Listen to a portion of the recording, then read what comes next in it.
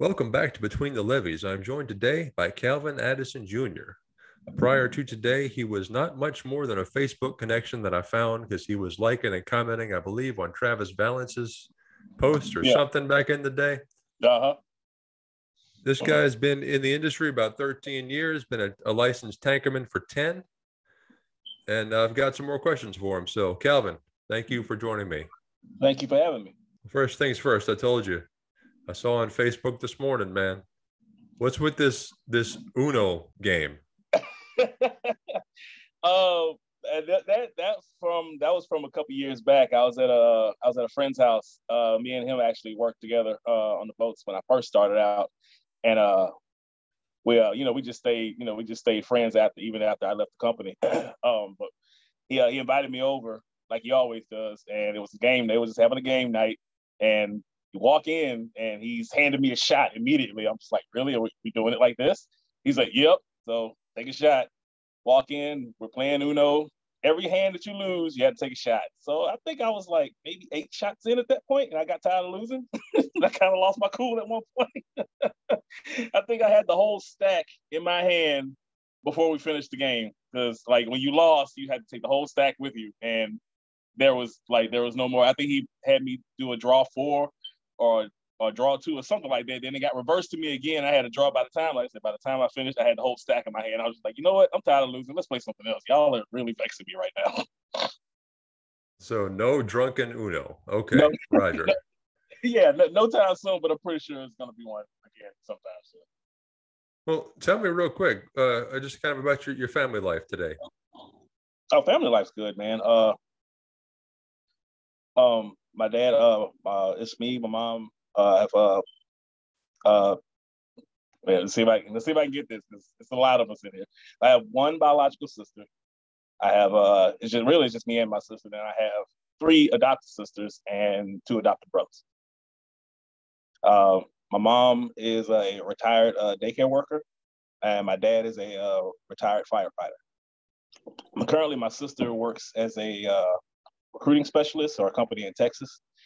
Uh, everybody's so scattered right now; it's, it's really hard to keep up with everybody. Uh, my uh, but uh, my other adopted siblings, they they still live in Louisiana. Uh, they still live here in Baton Rouge. Well, as these all have begun, sir, tell me, where were you born? Uh, I was born here in Baton Rouge. Um, don't really plan on moving at all. Pretty much a homebody. I stay close. I like staying close to family. Um, uh, graduated from uh, Baker High School in '98. So showing my age here, 43 years old now. What was life growing up in, in the 80s? uh, it was let's put it like this. I, I I missed the '80s. It was chill. Um, uh, I didn't really get into a whole lot as a kid, man. I, I was pretty I was pretty good kid. Uh, I didn't get around into like doing anything bad things like that. Cause I mean, I had my whole family like watching me. Basically, any any neighborhood that we grew up, uh, we moved to, I had my family like right there. Any school that I went to, I had family members working there. So I've always had eyes watching me. Like I say, not that I was doing anything bad, but I was I was I was I was taken care of as, as a kid too, like that. But life was good. My parents made sure that uh, we had everything we had, and uh, I mean everything that we needed. And um, you know, I, I have no complaints about my childhood, man. It was it was pretty good growing up. I, I'm not gonna lie. It was the only the only rough part about my childhood is I always kind of consider myself as a I guess you can say an outsider. I liked a lot of things that other kids didn't. Excuse me. Uh, as far as like uh, my taste in music, uh, TV show, TV, uh, TV shows that I watched, things like that. It was, I guess it was, can't say it was considered like normal. I guess you could say. So I was different, and I got picked on a lot. But I mean, I still had, I still had friends uh, who always had my back and everything. So it was, it was still a good childhood though. What kind of music did you listen to that was so abnormal? Uh, for for me, I think it was I think it was normal a lot, a lot of rock and roll. Like uh, one of my favorite rock bands was Kiss growing up. Uh, I, I, owed, I actually owe that to a friend of mine. He introduced me to the band, and uh, uh, listened to Motley Crue, things like that. Phil Collins. Uh, I never really listened to a whole lot of rap music growing up. I got you. Look at you. All right, man. um, were you? Did you attend college? Yeah, uh, for for for a moment uh, after I graduated, I attended Southern University for for about a semester. Um, I didn't I, I, I kind of just went to go. I like not really knowing what I wanted to do. it was it was kind of a it was kind of a I don't know. Like I said, I felt like I had to do it, so I only went there like for for a semester. Um, after that, I, I flunked out.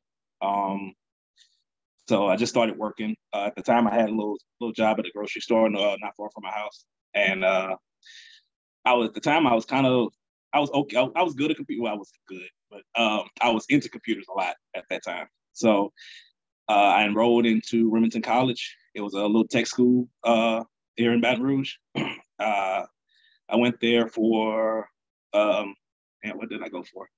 Computer networking. Attended that for two two and a half years. Uh, graduated, got my associate's degree, and I had, uh, wound up getting a job kind of closely related to the field uh, with the state of Louisiana. But uh, after Katrina, I wound up losing that job. Um, it was uh, I worked at the uh, uh, Louisiana Department of Labor. I worked in the in the computer room there. Well, how was Katrina for you?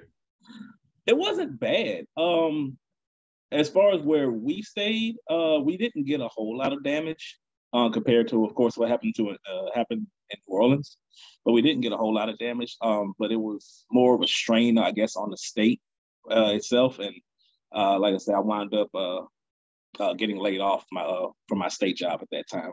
But uh, the, as far as like the impact that Katrina had on, I guess you could say our our normal life, I guess you could say, um, it, it, things weren't weren't too bad. Like I said, considering what happened in in New Orleans. And did you find your way to the maritime industry after that? no, after that, I I joined a uh, what do you call it? A uh, temp service. I joined up with a temp service, and I had about four or five jobs through them because you know with a temp service you get on a job and they only have you for so long, and uh, until you move on to something else. So I might have had three or four jobs before then, and at the time my sister worked for was a recruiting specialist for a, security uh, for a, a security office firm. Um, so she got me a job with that. I was a mall cop for four years. and uh, at the time, I did have a, I think within my second year of having that job, a friend of mine who was in the maritime industry was trying to get me out there. And I kind of shied away from it because I, I, just didn't, at the time, I guess I was kind of in a, I felt myself, I was, I was, I was kind of in a, a, a stump. I just didn't want to try to pursue anything else. I was just trying to just make do with what I had. And after my fourth year, uh, you know, I went back to him. I said, "Look, man, I think I would try. I'm, I think I want to try that that that that fleet job you were telling me about. So he showed me where to go sign uh fill out the application, and they responded back pretty quick. I want to say the second day, uh, I got an email saying that uh, I've been uh, selected to come in for an interview and uh, all that good stuff. So uh, and that was 2009. Kind of feel like I got in kind of late. So uh, uh, so I wound up uh, leaving the uh, leaving them all. Started with uh, started with uh, ACL and I mean uh, and uh, the Port Island Fleet, and the interview process was pretty good, but the uh, the the physical part of it was what really like really was the was the hard part because they had us of course and it was in the middle of the July and just the I wasn't used to working out into the in the elements like that. So it was that was definitely a, a change of pace. But uh, I got through it, and uh, I started uh, in August of, uh, like I said, August of 2009, and uh, I made it there uh, three years in that fleet. Was the heat the hardest part? I would say the heat was the second hardest part. Um, learning how to lay my wires and learning the difference, you know, your upriver and your downriver leads and things like that. That that was probably the hardest. The heat came second. What was the training program for you? The training program, um, from what I can remember, uh, they didn't take us out immediately. Uh, it was more indoor work first. I mean, not indoor work. Uh, it was more, uh, you know, of course, going over policy and procedure and things like that. And once we did go out, uh, get out there, it was, it wasn't, it was new to me. So of course, it, it felt hard. But like I said, after a while, um, I, I, I, still didn't get it. I still, I still couldn't grasp the concept even after coming out of the training program. Um, so my lead man at the time, uh, I can't remember his name, but uh, he took the time out to really like show me uh, how to properly lay my wires, uh, how to identify, you know, how to uh, you know, tie bowline knot, things like that. So um, not saying I didn't learn anything in the training program, but it was just it was it was a lot harder for me to grasp. Like I said, it was, it was something new, and you know, as as hard as I, I tried to apply myself uh, to to to uh, to learn everything, it was just I just wasn't grasping. So I just so um, Damien, Damien, that was that was his name. So he he he really took the time out to show me, you know, how how to really uh you know do my job efficiently. Any highlights or interesting stories coming to mind about your three years on deck? Those three years in the fleet, it was I had a let's put like this. I had a, I had a good crew, so we were always it was always jokes. It was always it was it was always something happening there. Um, we all were always playing jokes on each other and things like that. Uh, one thing actually came to mind. We uh, it was uh, one day we are all in the we're all in the coupling, and I think it was uh, I think uh, uh I think it was a snake that uh that had ran by somebody's foot or whatever. And one of the guys, he he wasn't he wasn't scared of, of, of snakes at all. As a matter of fact, this time I was working at Armand uh, Armand Fleet, and he just literally like just picked it up and just started running around everybody with it. It was I don't know, it was, it was crazy time at that time, man. Um, that was just one of the stories that kind of stick out in my mind. Uh, another one was uh, I wasn't watching where I was going one day, and uh, I stepped into a I stepped into an open hatch cover. It was in the middle of, it was like in the middle of the night. And my lead man turned around and saw me like sticking, had my one foot out of a manhole cover and one foot in. So I'm just kind of like dangling there. Like, man, you gonna help me? You just gonna look at me. I mean, I wasn't hurt, but it was more of an embarrassing situation more than anything. I'm glad you didn't get hurt. I've been down in those things. I I don't want to fall in that. No, no, I, have never been. I've never been down in one myself. That's the closest I've ever come down. Actually, going down into a into a void tank. It ain't fun down there. But uh, I've got uh, a buddy in Australia is going to really enjoy that snake story. Mm. I'm sure he'll be he'll be listening to this as soon as I publish it. But anyway, uh, so how does your career advance next? I know I think you you went for your tankerman's license, right? Yeah, yeah. Um, I knew that. Uh, but the, tell me about that process. What does it take to get your tankerman's license? Well, first you have to be. I guess it all depends on how well the, the route that I went but traditionally the route goes. I mean, once you once you learn everything on deck, uh, uh, I guess you submit a request to be put into the tankerman program, and if you're selected, uh, you get sent off to tankerman school. Uh, you have to take a. am uh, I'm not sure what it is now, but at the time that I went, uh, it was a four day firefighters class, and I believe a four or five day tankerman's class, the, the actual tankerman's class. Uh, the firefighters class is actually the, the fun part of it. You get to don the, the whole get up, you get to don the whole suit. Uh, and I think on your, it was on our last day, uh, you get put into a. Uh, I know every school is different, but this particular school, they put us inside of a, uh, uh, put us inside of a ship container and they had a stack of pallets set on fire. So we had to go in there, the team of three, uh, and everybody would get a chance to work the hose, learning how to properly put out, uh, how to properly extinguish out a fire. Uh, the I'm sorry, I skipped one. The second to last day, you get to simulate a smoke rescue. Since we couldn't properly simulate that, they just put us in a classroom, an empty classroom, shut all the lights off, and we had to feel our way around searching for the, the body. But uh, the the last two, the, previous two days is because uh, uh, it's all uh, all textbook work. Uh, as far as the tankerman training, uh, it's mostly all textbook work. Uh, the school that I went to, was, some of the textbooks seemed a little old, so they were going at that time. They were kind of going at more.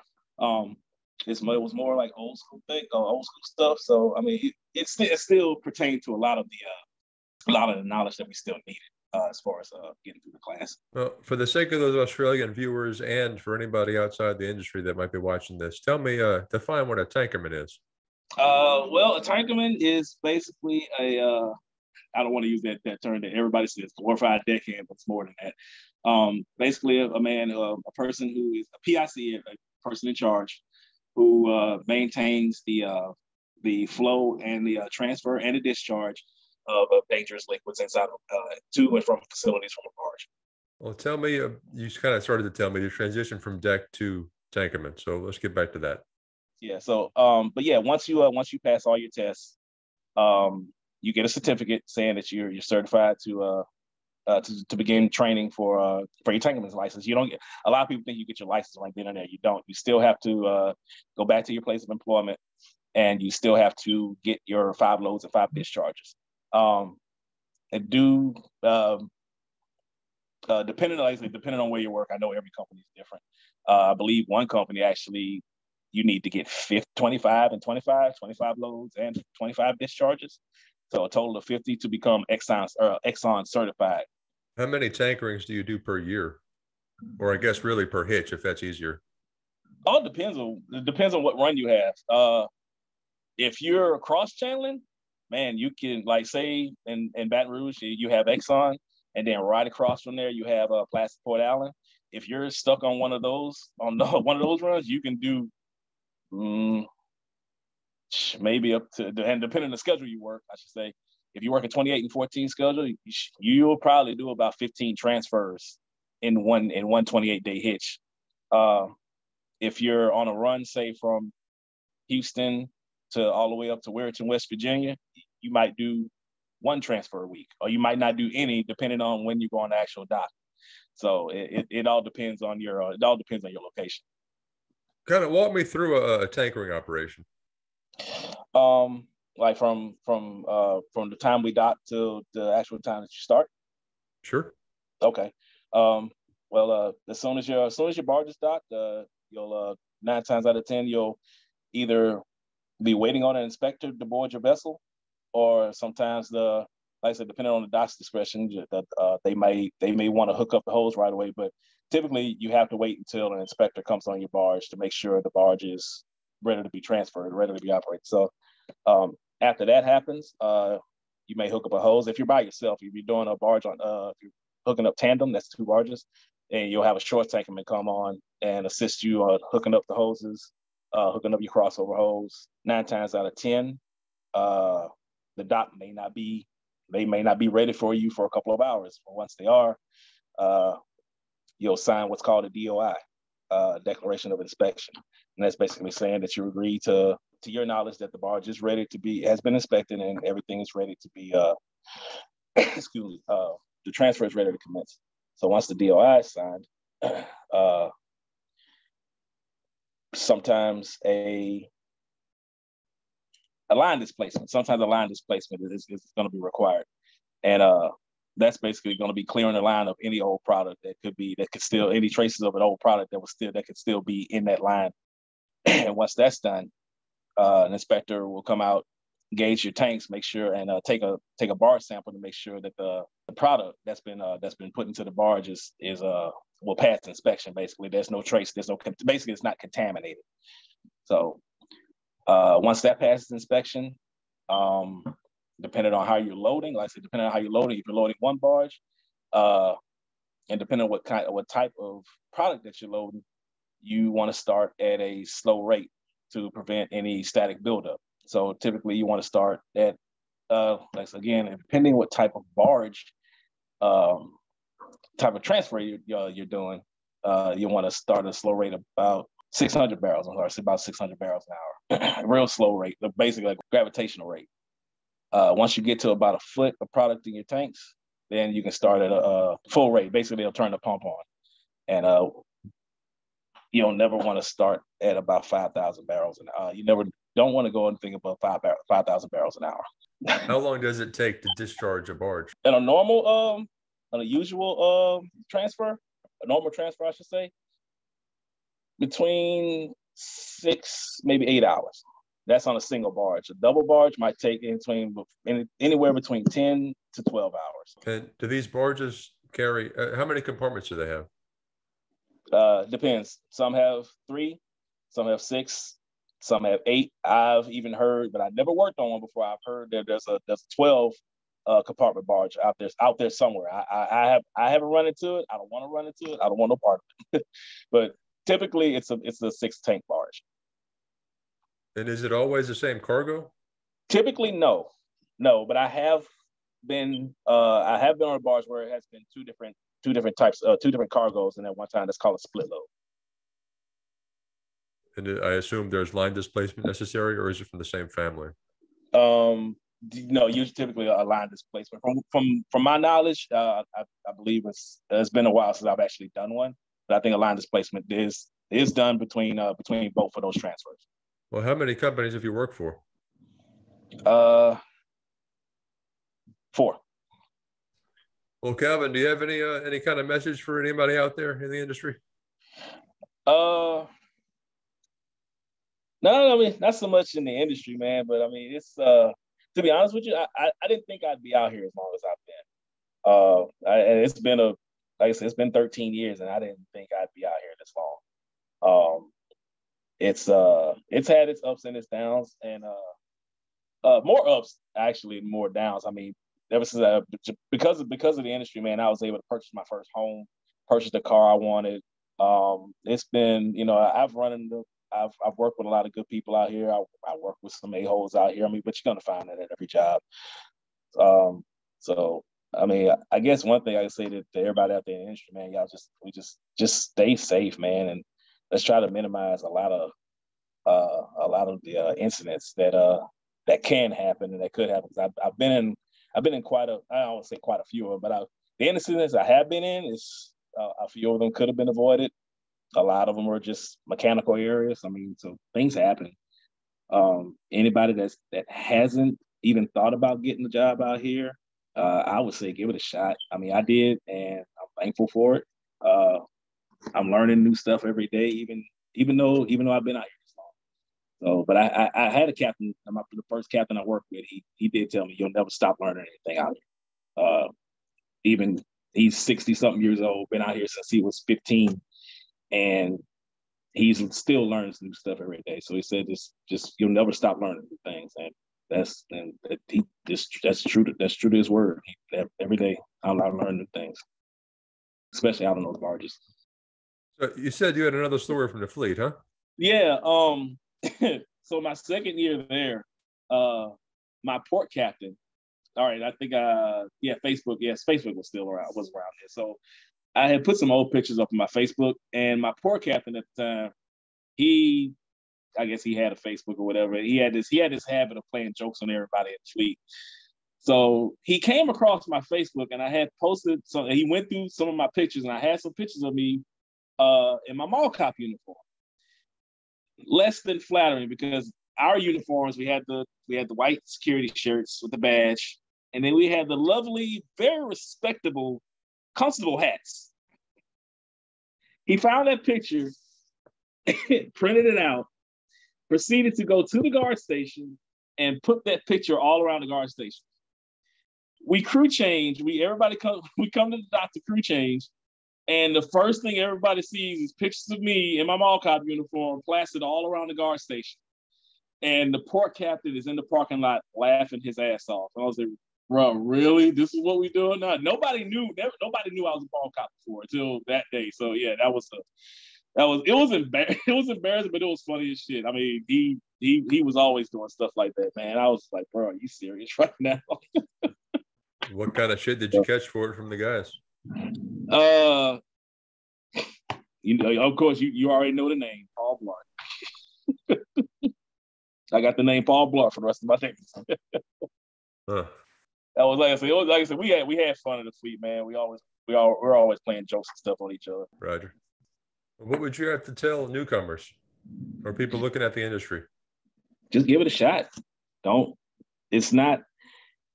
If you don't think that, because uh, the, the thing that deters people away from here is being away from home.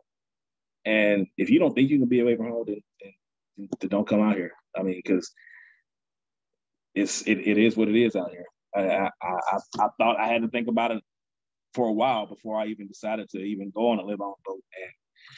And I had to look at the positives more than the cons. I mean, yeah, I'm not gonna be home for a lot of things. I'm not gonna be available a lot, but I had to look at the positives too, especially uh, especially of the uh, the, uh, the the financial aspect of it. I mean, like I said, it provides it provides me a good life, um, and it'll pay off in the end don't look at the now. Look at look ahead and see what see what the industry can could provide for you. I think that'll do it, man. But I appreciate your time today. All right. Thanks for having me, man. Yep, absolutely. We'll keep in touch. Sure thing. This has been a production of Where You At Studios, LLC.